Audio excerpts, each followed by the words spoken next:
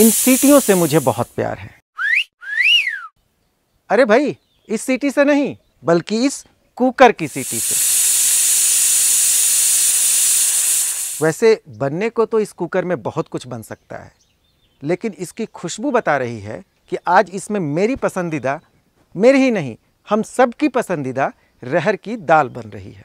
हमारे गाँव में लोग अक्सर कहा करते हैं कि अगर आपको खाने में रहर की दाल चावल और सब्ज़ी मिल जाए तो समझो आपका दिन बन गया। तो आइए हम सब भी अपना दिन बनाते हैं और कुछ बात करते हैं रहर के बारे में। जी हाँ वही रहर जिसे अरहर तुअर तूर और पीली दाल भी कहते हैं। हमसे रहर के विषय में पूछिएगा तो हम यही कहेंगे दाल नहीं ये दवाई है दवाई। अगर सच पूछिए तो अगर रहर का दाल मिल जाए तो दो चार कवर हम ज़्यादा ही खा लेते हैं। भैया हमारे घर में तो रहर का दाल सबको पसंद है लेकिन महँगा है इसलिए कभी कभी बनाते हैं। हमको लहर का दाल खा के दमदार बनना है। रहर के दाल की यही खासियत होती है कि सब के सब इसके दीवाने होते हैं।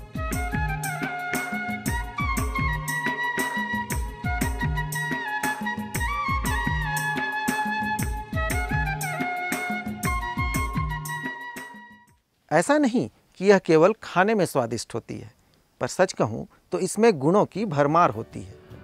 अरहरदार प्रोटीन और फाइबर का एक बहुत अच्छा स्रोत है। इसके अलावा ये शरीर में folic acid, iron, calcium, carbohydrates और विटामिन की कमी को भी पूरा करता है। झारखंड में अरहर की खेती पारंपरिक तरीके से होती रही है, किंतु किसानों को इसका पर्याप्त उपज और लाभ नहीं मिल पा रहा था। एम परियोजना के अंतर्गत डिजिटल ग्रीन के सहयोग से लातेहार ब्लॉक में लगभग 600 किसानों के साथ अरहर की खेती सघनीकरण विधि से की जा रही है, जिसकी सफलता के बाद इसका विस्तार पूरे राज्य में किया जाएगा, जिससे कि हमारे किसानों को उपज, मूल्य और पोषण के स्तर पर अधिक से अधिक लाभ मिल सके। मैंने कहा था ना कि रहर में गुणों की भरमार होती है। अब इससे पहले कि रहर की विधि पूर्वक खेती कैसे की जाती है, मैं आपको बताऊँ। आइए पहले जान लेते हैं कि इसकी खेती में हमें किन किन चरणों से होकर गुजरना पड़ता है। खेत की तैयारी, बीज का चुनाव एवं उपचार, बीज या पौधों की रोपाई, कपोलों की तुड़ाई। उकठा या पौधा सूखने की बीमारी से बचाव फल छेदक कीड़े से बचाव फ़सल की तुड़ाई एवं भंडारण। रहर की खेती का इतिहास बहुत पुराना है, लेकिन लोगों को अक्सर कहते सुना है कि इसकी खेती में उपज कम होती है और फ़ायदा कम होता है। लेकिन सच्चाई इसके ठीक विपरीत है। अगर रहर की खेती उपजाऊ ज़मीन में और विधि पूर्वक की जाए तो इसमें उपज भी ज़्यादा होती है और दूसरे दालों से इसकी कीमत भी अधिक मिलती है। आप भी चाहते हैं रहर की खेती करना और अधिक फ़ायदा कमाना? तो चलिए देखते हैं रहर की खेती की प्रक्रिया का पहला चरण, खेत की तैयारी। यहाँ वीडियो रोककर चर्चा करें, रहर के महत्व और उसके गुणों के बारे में।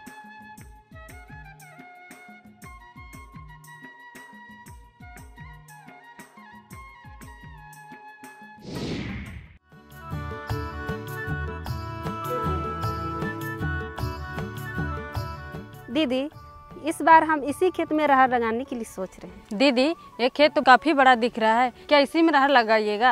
रहर तो किसी और भी ज़मीन में लगा सकते हैं। ये तो काफ़ी उपजाऊ ज़मीन है। अरे दीदी रहर की खेती उपजाऊ ज़मीन पर ही करना चाहिए। आपको पता है कि पिछले बार रहर की खेती जो लगाई थी वो अच्छी क्यों नहीं हुई? नहीं दीदी। इसलिए कि वो ज़मीन बंजर थी। अब आप ही बताइए बंजर ज़मीन पे कोई भी फ़सल नहीं होती तो अरहर की भला? खेती कैसे होगी? इसका मतलब दीदी रहर की खेती उपजाऊ ज़मीन पर ही करना चाहिए। बिल्कुल ठीक कहा दीदी। हमें ऐसा खेत का चुनाव करना चाहिए जहाँ थोड़ा ऊँचा हो और बरसात का पानी ना जमा हो पाए। जिस ज़मीन पर कंकड़ पत्थर हो और छायादार हो उस ज़मीन पे रहर की खेती नहीं करना चाहिए। फिर तो दीदी ये ज़मीन रहर के खेती के लिए तो परफेक्ट ज़मीन है। यहाँ वीडियो रोककर चर्चा करें। रहर की खेती के लिए किस तरह की ज़मीन का चुनाव करना चाहिए?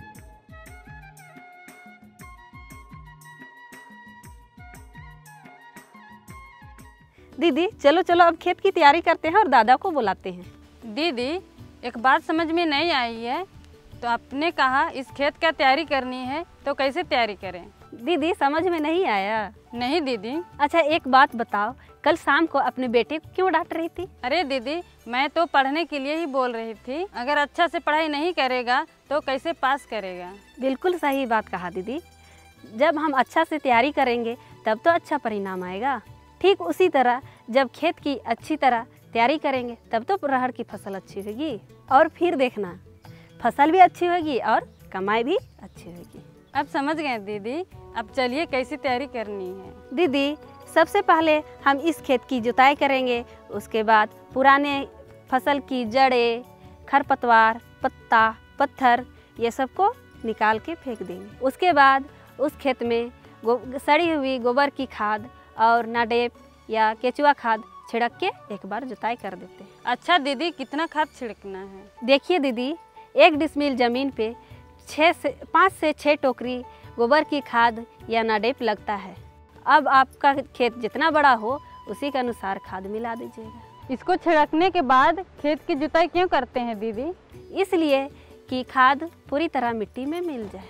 उसके बाद ज़मीन में पाटा चलवा के खेत को समतल कर दे। हाँ जिसमें मेड़ बनाने में आसानी हो। बिल्कुल ठीक समझी दीदी।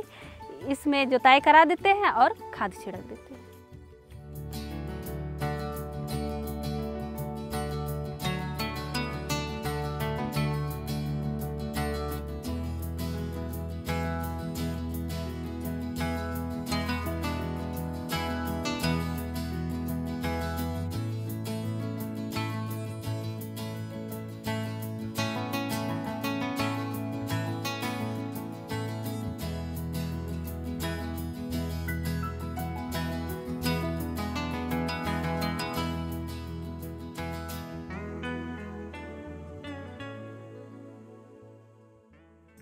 यहाँ वीडियो रोककर चर्चा करें।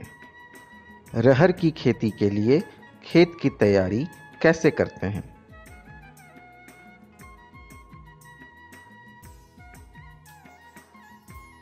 दीदी खेत तो काफ़ी साफ़ सुथरा और बराबर दिख रहा है। हाँ दीदी हम अब मेड़ बनाएँगे और मेड़ से मेड़ की दूरी दो मीटर होनी चाहिए। और दीदी मेड़ की ऊंचाई छः से सात इंच ऊंचाई होना चाहिए। मेड़ से मेड़ की दूरी दो मीटर क्यों दीदी? इसलिए ताकि पौधे को फैलने और बढ़ने का मौका मिल सके। और दीदी साथ ही साथ पौधों को भरपूर हवा पानी और पोषण मिल सके जिससे कि अच्छी फ़सल हो। ठीक है दीदी।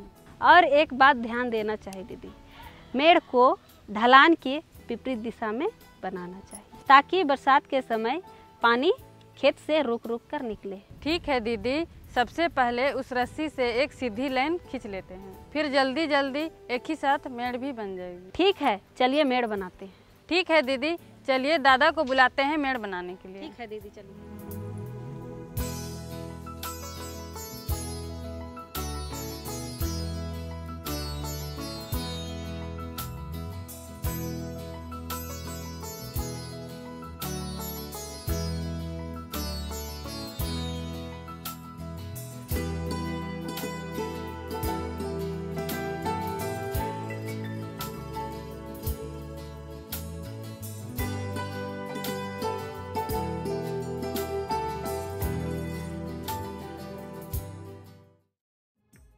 यहाँ वीडियो रोककर चर्चा करें।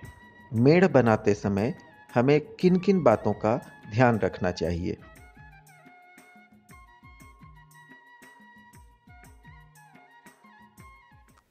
अब मैं आने वाले हर वीडियो में रहर की एक शानदार खूबी के बारे में बताऊँगा, जो आप सबके लिए फ़ायदेमंद होगी। जैसे दांत के दर्द की शिकायत होने पर रहर के पत्तों का काढ़ा बनाकर कुल्ला करने से दांत का दर्द खत्म हो जाता है। है ना कमाल की बात?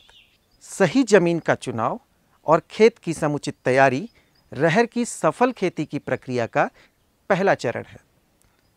आने वाले वीडियो में मैं आपको बताऊँगा कि रहर के बीजों का चयन और उपचार कैसे करते हैं।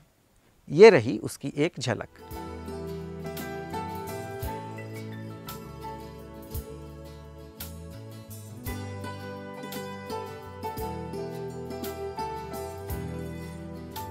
खेत की तैयारी में समझौता न करने वाले बिंदु। रहर की खेती के लिए उपजाऊ ताड़ या मध्यम ज़मीन का चुनाव करें। खेत की कम से कम दो बार अच्छे से जुताई करके खरपतवार निकाल दें। दूसरी जुताई के पहले खेत में गोबर खाद, नादेब खाद या केचुआ खाद डालें। दूसरी जुताई के बाद पाटा चलाकर खेत को समतल कर देना चाहिए। खेत में ढलान के विपरीत दो दो मीटर की दूरी पर 6 से 7 इंच ऊँची मेड़ बना लेनी चाहिए।